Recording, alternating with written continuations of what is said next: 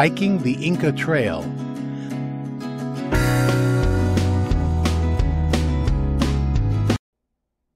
Good morning and welcome. I'm sure you'll enjoy your visit to this archaeological site. One of the greatest mysteries of this site is the question of how it was built. How were the ancient people able to construct such spectacular buildings out of such heavy stones without the help of modern technology? We'll explore this and other mysteries pertaining to their culture during our tour today. Before we begin, let me go over a few restrictions. In order to preserve the site, we ask you to walk only on the network of paths, which is clearly marked.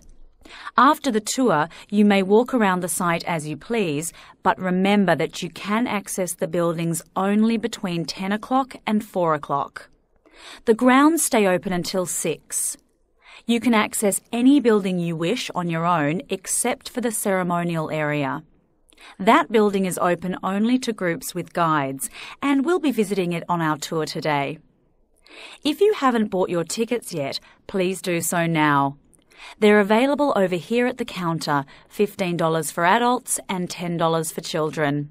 After the tour is over, you might want to visit our gift shop where we have an array of native crafts for sale.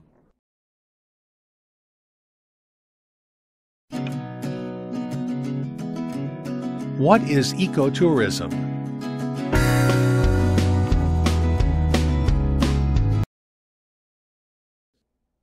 Good afternoon, excellent eco tours. Oh, hello. Yes, I have a vacation coming up, and I haven't taken a pleasure trip in a long time.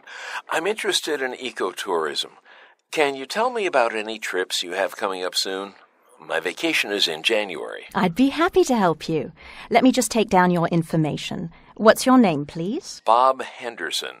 What kind of tour are you interested in? Our most popular tours are the Wilderness Adventure Tour and the Local Culture Tour.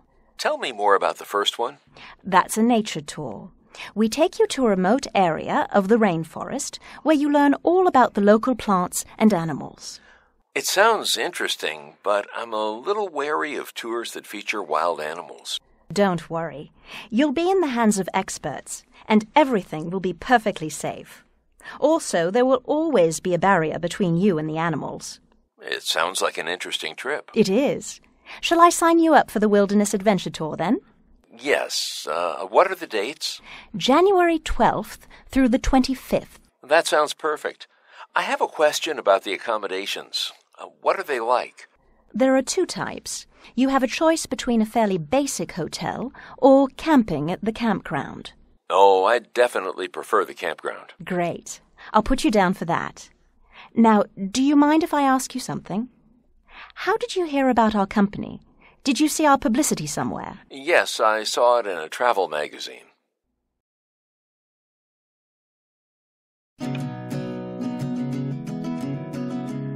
Learning vacations.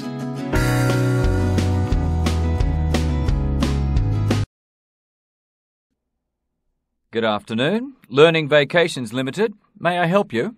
I'm interested in taking a learning vacation. I understand you organize vacations with painting classes. We do. We offer learning trips for a broad range of tastes and interests, and painting trips are among the most popular. Do you have a particular destination in mind? Not really. I'd just like to go someplace pretty with colorful scenery for painting and maybe some nice ocean breezes.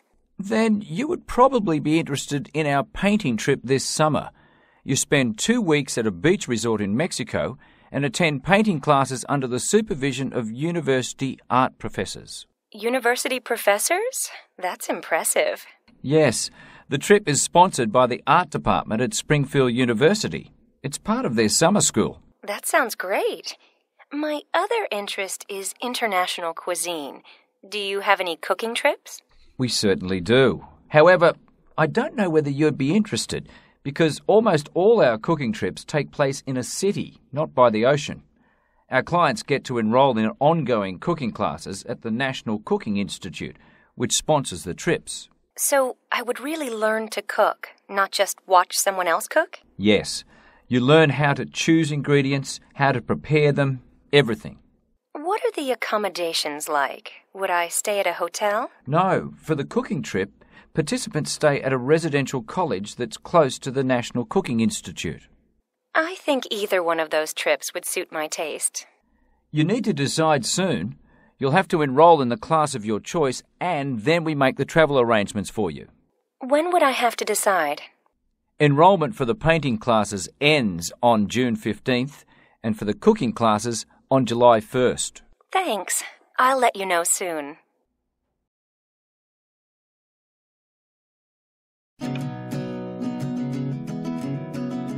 What makes a small business successful?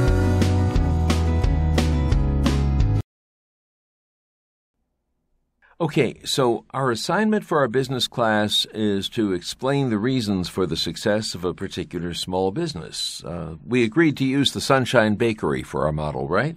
Yes, it's a good example of several of the characteristics that are typical of successful small businesses. For one thing, it has its own particular niche. Uh huh. Because there are no other bakeries in the neighborhood. Right. So even though its product isn't unique, it just sells normal baked goods, there aren't any competitors in the area.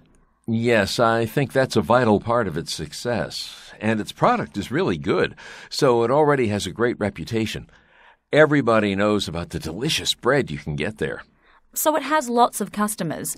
I don't remember reading anything about market research that the owners did before opening the business, but I guess it doesn't matter because there are lots of customers now. But the owners did start with a sound business plan. I mean, they projected all their expenses and how long it would take to start earning a profit and all that. Right, and the business became profitable in about two years. I think that's pretty good.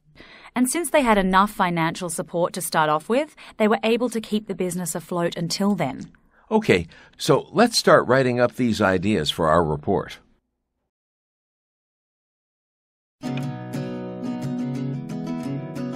Brand loyalty.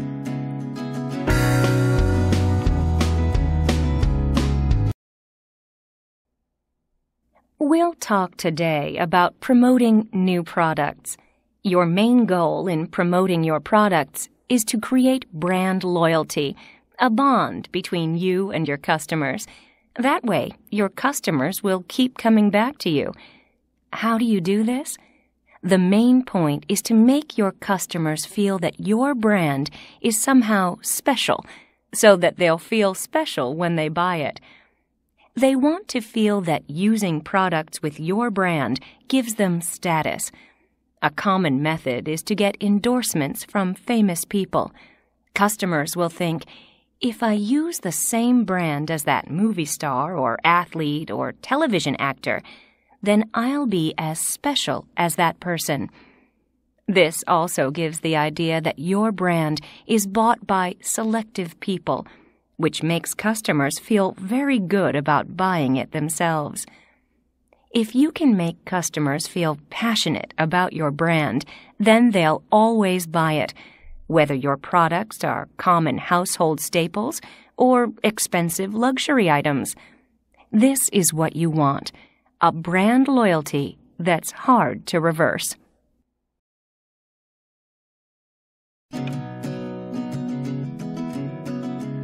Global outsourcing.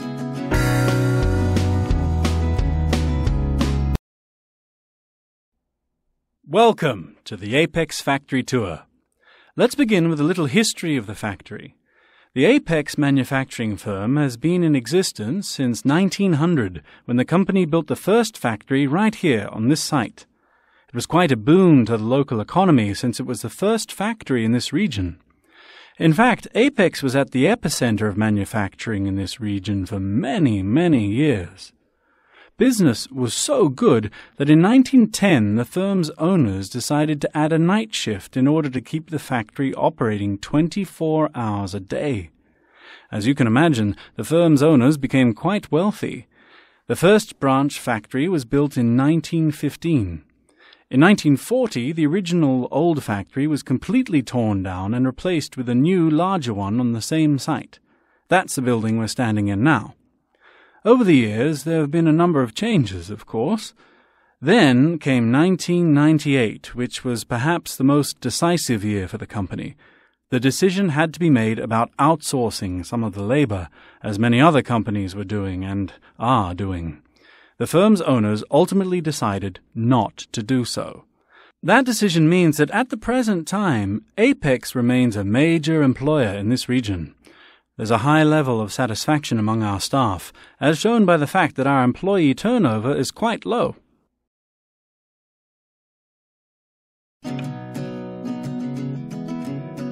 Social networking.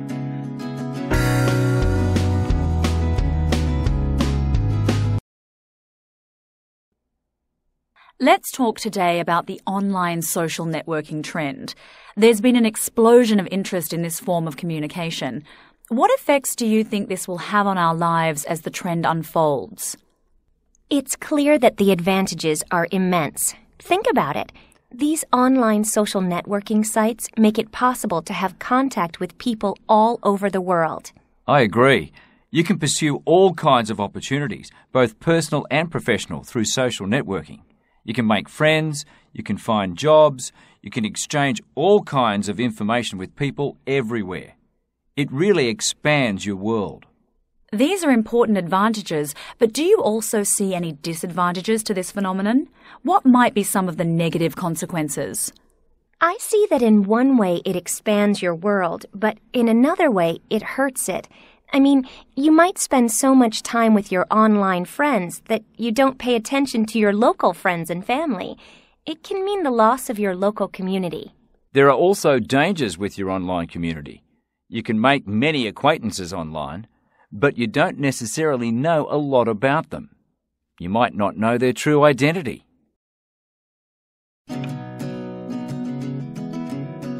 Why are women leaving science careers?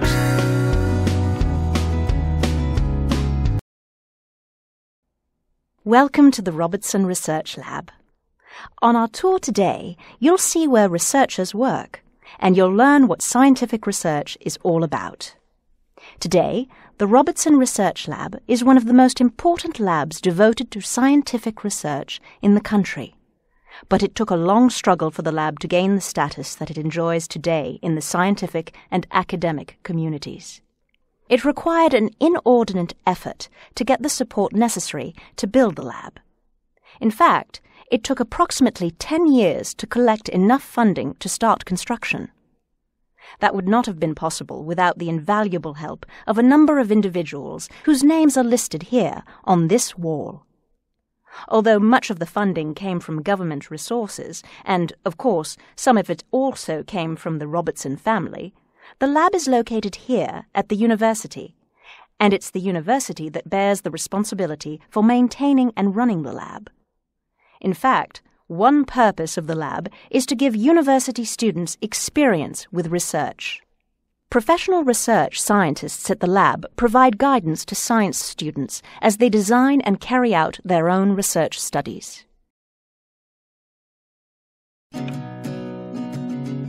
Wheelchair accessibility issues.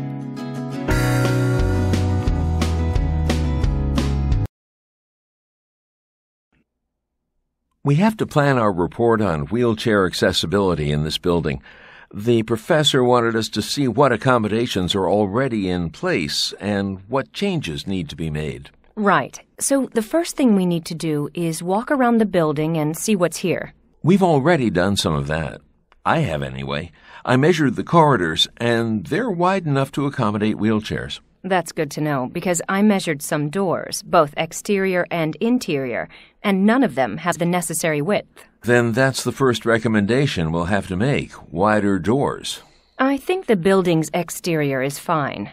There's a ramp at the front entrance, so wheelchairs can get inside the building easily. That's true, but uh, didn't you notice that there aren't any curb cuts? The curb is too high for a wheelchair to get over. So there's a parking place for disabled people in front of the building, but they still can't get a wheelchair over the curb and onto the sidewalk. Yeah, I guess that really would be a problem. So we'll have to recommend curb cuts. The building already has an elevator, so wheelchairs can get to all the floors. Right, so elevators aren't a problem. What about the light switches? Are they low enough on the walls? Yes, I tested some of them by sitting in a chair. They're low enough to reach.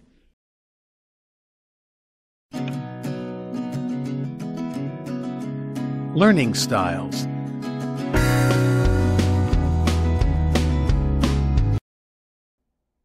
As teachers, when you plan your lessons, you'll need to keep in mind the different learning styles of your students. Remember that visual learners need to see things. Allow them to sit where they can easily see your face as you give the lesson. Remove any obstructions that might prevent this. Include visual items such as diagrams and pictures in your lesson to address the needs of these students. Auditory learners need to hear things. When they read, they may want to hear the words as well as see them, so allow them to read aloud and to recite information they're studying. Don't hinder their learning by requiring them to keep quiet during study time. Kinesthetic learners need to do things. To help these students, include activities that give them opportunities to move around and to manipulate items. While students may have different learning styles, they all have one thing in common the need for frequent encouragement.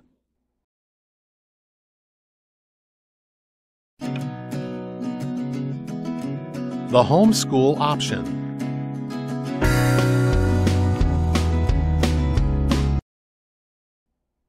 Welcome to the City Homeschooling Association. Most of you are interested in homeschooling your children, and I know you have many concerns and questions about how to begin. I'll start by explaining to you the legal requirements for homeschoolers in our city, and then in the latter part of the program, you'll have a chance to ask questions. There are certain things that are compulsory for homeschoolers in our city. First, to start, you'll need to inform the city that you plan to homeschool your children. Many people think that they'll have to hire professional tutors for their children, but that isn't required. Nor do you need to have prior teaching experience yourself. You do, however, have to follow an educational program mandated by the city, which addresses all the same subjects that are taught in the local schools. The city can provide you with textbooks, but even though the vast majority of families choose to use these books, they aren't required. You can use any books you want as long as you follow the city's program. Periodic tests, usually twice a year, are required by the city. You can give them to your children in your home and send them to the Board of Education for scoring. It's easy to do and doesn't cost any money. At the end of the school year, you have to submit a report to the city, which is also simple to do. It's a short report, and the city provides you with easy to follow guidelines. Homeschooling is no longer considered a novel idea, but is becoming more widespread. There are a lot of experienced families around who can help you get started.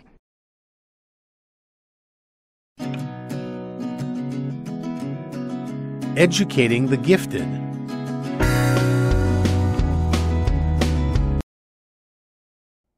I asked you to read an article about recognizing gifted students in the classroom. So, tell me, how can a teacher recognize gifted children?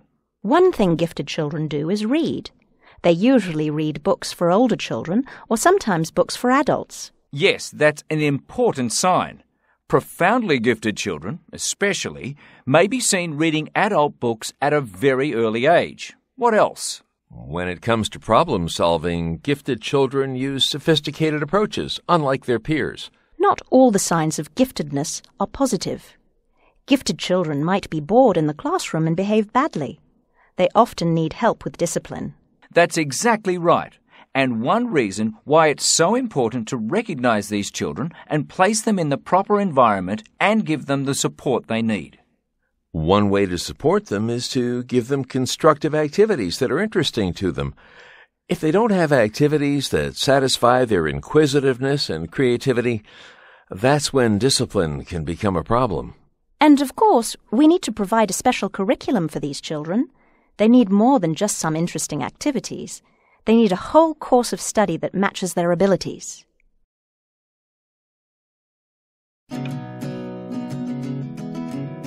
The development of the light bulb.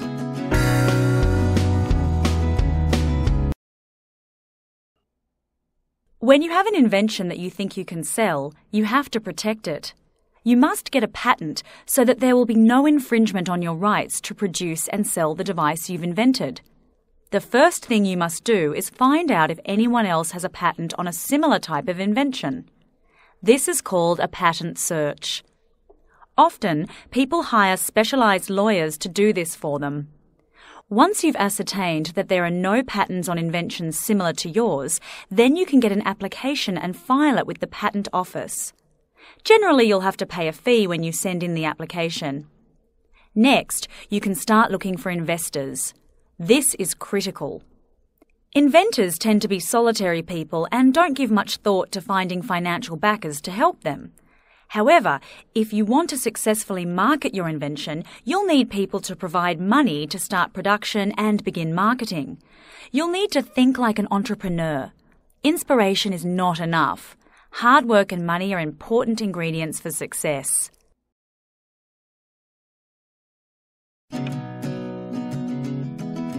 The invention of variable pitch propellers.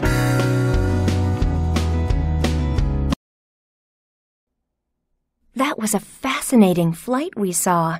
Now we have to write up the report for the school newspaper. Okay, well, we should start with the name of the designer of the plane. Right. I'll just write that down. The designer was Steve Wilson, and the pilot's name was Joe Applewood. What about the names of the passengers? Did you get those? No, but there were two of them. We can just put that. We don't need their names. We should say something about the design of the plane, like the size of the propeller.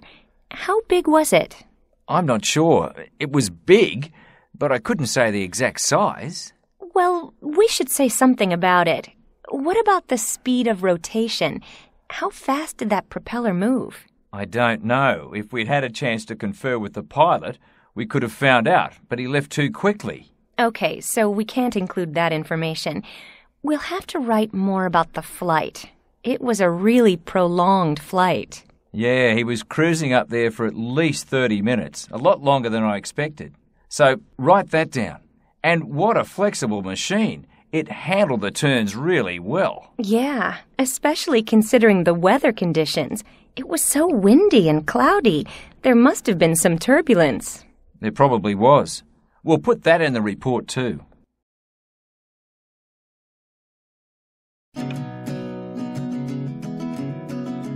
The transatlantic cable.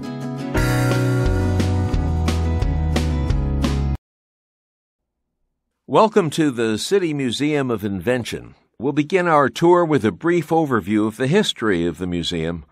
This museum first opened its doors in 1985, the result of years of effort by the mayor and others in our city. In 1975, the city's mayor first got the idea to start a museum about inventions. After he got several experts interested, he set out to rally the necessary funds. In 1976, several events were held to raise the requisite amount of money to begin construction of a building to house the museum. They had almost raised enough money when there was an unexpected setback. A family that had promised a large percentage of the needed funds inexplicably withdrew their offer. It was toward the end of 1977 that this large gift was lost. Although there was an inquiry, it was never made clear why the funds were withdrawn. Plans for the museum were put aside for five or six years, but a group of interested people renewed the efforts, and by 1982, they had rallied enough monetary support to go ahead with the plans. That year, construction on the building began. In just under three years, the museum was completed, the result of the perseverance of a number of dedicated people. The museum continues to be a popular part of our city's culture. Although everything in the museum follows the theme of inventions, the variety of the exhibits will appeal to visitors of disparate interests. Our most popular exhibit, which is all about cable TV, was first opened in 1998.